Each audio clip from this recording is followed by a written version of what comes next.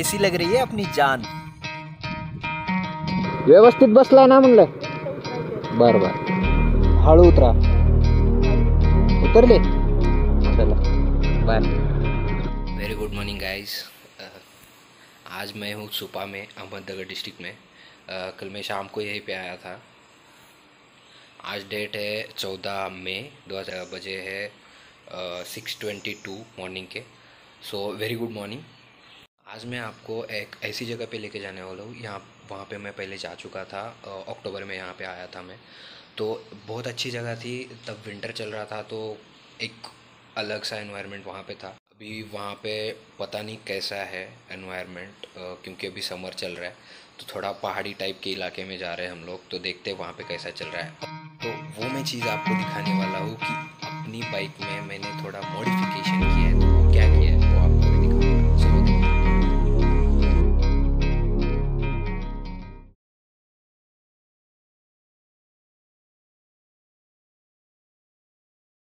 अपने को सूर्योदय भी देखना है। सुपर सूर्योदय दिखता है यहाँ से। मैं विंटर पे आया था तो विंटर में जब यहाँ पे आया था, तब बहुत ही औसम मेरा वो एक्सपीरियंस था। मैं आज मॉर्निंग में उठ के यहाँ पे आया हूँ कि ताकि मैं आपको एक अलग सा एक्सपीरियंस भी दिखा पाऊँ। एंड अपन ने बाइक में कुछ मॉडिफिकेशन किए हैं थोड़े बहुत अपनी आने वाली राइड्स के लिए। जो कि थोड़ा कंफर्टेबल रहेगी राइड करने में तो वो भी मैं आपको आज दिखाने वाला हूँ। तो तो आज के इस ब्लॉग के ये दो छोटे से ऑब्जेक्टिव्स है। रोड हल्का सा ख़राब है, लेकिन ख़राब रोड अक्सर अच्छी जगह पे लेके जाते हैं। एक और अपडेट इस ब्लॉग में आएगा कि हम कल की ट्रिप कहाँ कर रहे हैं। इट्स टाइप ऑफ़ जंगली इलाका। जंगली इलाके में आए अपन। यहाँ पे कोई फ़ार्मिंग नहीं है। बस पेड़ है एंड पहाड़ है।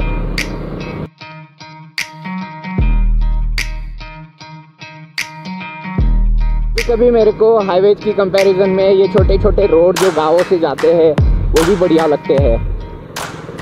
वो हल्के से टर्न होते हैं, छोटा रोड होता है। अकेले हम होते हैं, कोई नहीं होता है। ये वाला प्लेस है जहाँ पे मैं आपको लेके आया हूँ, ये देखो। ये वाली चीज़ें मैं आपको दिखाने लाया हूँ। हम लोग बहुत पास से जाके देखने वाले हैं वाइन टर्बाइंस। इसका नाम कुछ अलग है, मेरे को पता नहीं। हमको ना इधर भी जा सकते हैं, इधर भी है एंड इधर भी है।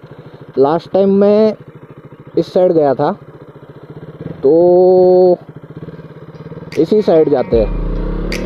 संडे वाला अलार्म बज रहा है। ठीक है भाई, उठाऊँ मैं। Bye thank you Good morning.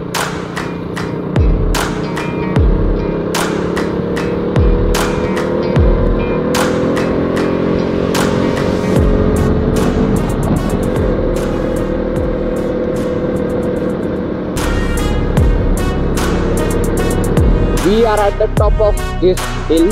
You can see this wind turbine.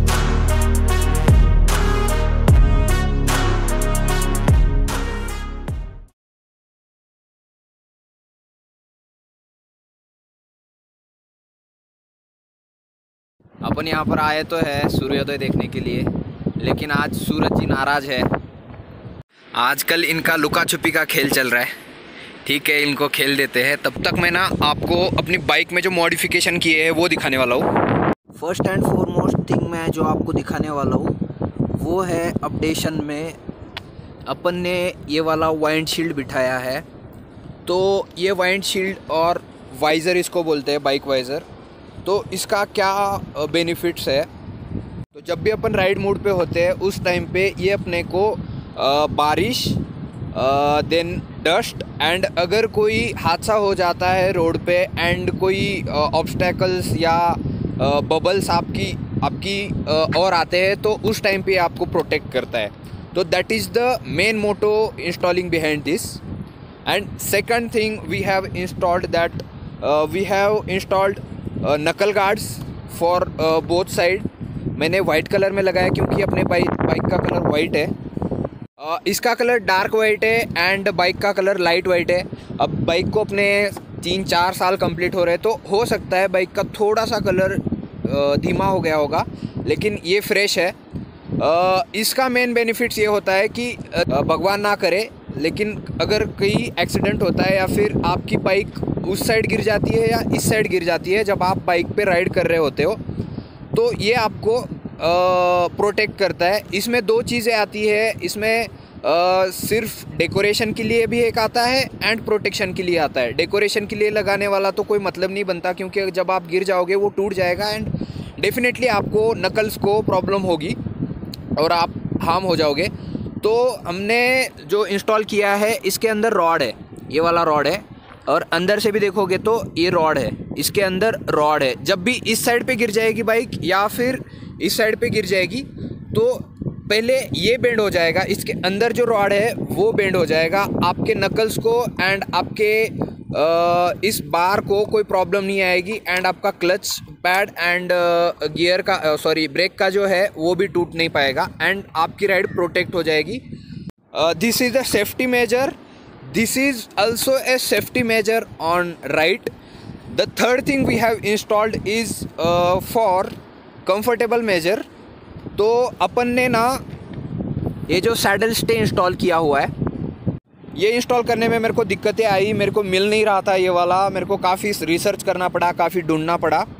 And uh, अभी जाके अपने K T M duke two hundred के लिए अपने को ये वाला सैडल स्टे मिला है। हालाँकि मैंने अभी तक इसके ऊपर कोई सैडल बैग नहीं रखी है एंड ट्राई नहीं किया है but I am damn sure कि ये चल जाएगा। इस पर जब मैं कोई बिठाऊँगा कुछ सैडल बैग रखूँगा तो वो चल जाएगा कोई दिक्कत नहीं आएगी लग रहा है मेरे को। एंड ये बहुत ज़्यादा स्ट्रॉन्ग भी है वेरी कंफर्टेबल अगर मैं इसके ऊपर अराउंड पचास किलो का भी वेट अगर रखूँगा दोनों साइड पे मिला के तो भी ये चल जाएगा लग रहा है। किसी को चाहिए ये तो आप मेरे को इंस्टाग्राम पे मैसेज कर सकते हो। मेरा इंस्टाग्राम का लिंक डिस्क्रिप्शन में रहेगा। सो दैट्स इट और पूरा मॉडिफिकेशन के बाद में अपनी बाइक कुछ ऐसी लग रही है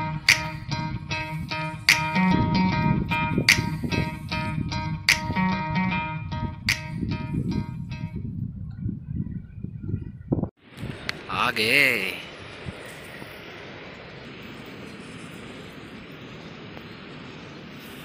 आज है सैटरडे एंड uh, कल है संडे तो अपनी जो इस वीकेंड की राइड राइड रहेगी वो कल रहेगी। एंड uh, उसका एक अपडेट मेरे को आज देना था। Uh, कल की राइड रहेगी दो अष्टविनायक अपने बचे हैं।